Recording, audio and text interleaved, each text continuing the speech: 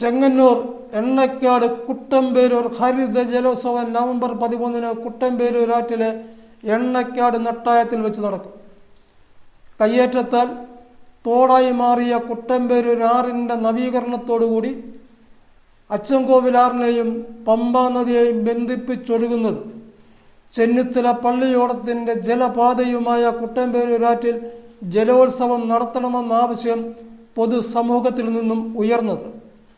ഇതിന്റെ അടിസ്ഥാനത്തിൽ ബുധനൂർ ഗ്രാമപഞ്ചായത്ത് മുൻകൈയെടുത്ത് വിവിധ രാഷ്ട്രീയ പാർട്ടികളുടെയും സാംസ്കാരിക നായകന്മാരുടെയും കുടുംബശ്രീ പ്രവർത്തകരുടെയും ചെന്നിത്തല മാന്നാർ പഞ്ചായത്തുകളുടെയും സഹകരണത്തോടുകൂടി രണ്ടായിരത്തി പത്തൊമ്പത് നവംബർ എട്ടിന് കുട്ടമ്പേരൂരാറ്റിൽ ജലോത്സവം സംഘടിപ്പിച്ചത്.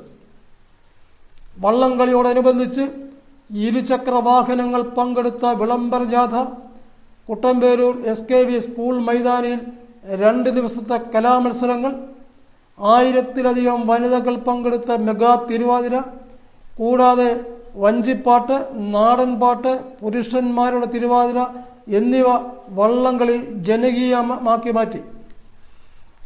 ആറിന്റെ സംരക്ഷണത്തിന്റെ സന്ദേശം ജനങ്ങളിൽ എത്തിക്കുവാൻ കഴിഞ്ഞ ഈ ജലോത്സവം കോവിഡിന് ശേഷം നാട്ടിൻപുറങ്ങളിൽ ആഘോഷങ്ങൾ തിരികെ എത്തുന്ന ഈ കാലഘട്ടത്തിൽ നടക്കുന്ന ജലോത്സവം വിജയകരമാക്കുന്നതിന് എണ്ണക്കാട് കര കേന്ദ്രീകരിച്ചും കുട്ടമ്പേരൂർ കര കേന്ദ്രീകരിച്ചും പ്രവർത്തിക്കുന്ന ബോട്ട് ക്ലബിന്റെ നേതൃത്വത്തിലും സംഘാടക സമിതിയുടെ നേതൃത്വത്തിലും വലിയ മുന്നൊരുക്കങ്ങളാണ് നടന്നു വരുന്നത്